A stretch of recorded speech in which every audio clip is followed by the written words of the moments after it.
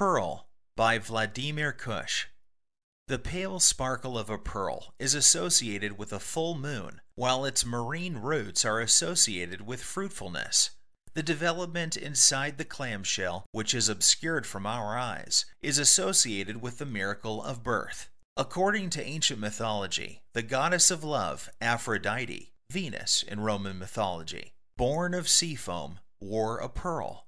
According to legend, Cleopatra dissolved a pearl from one of her earrings in wine and drank it in front of Mark Antony as a display of her wealth and love for him.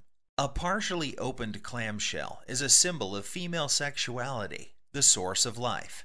Away from human eyes and under the depth of the sea, the secret fruit is preserved, beautiful and divine. It grows at nights when everything is sleeping and only the moonlight, lying on the ocean in a path, penetrates the lip of the shell like silver rain.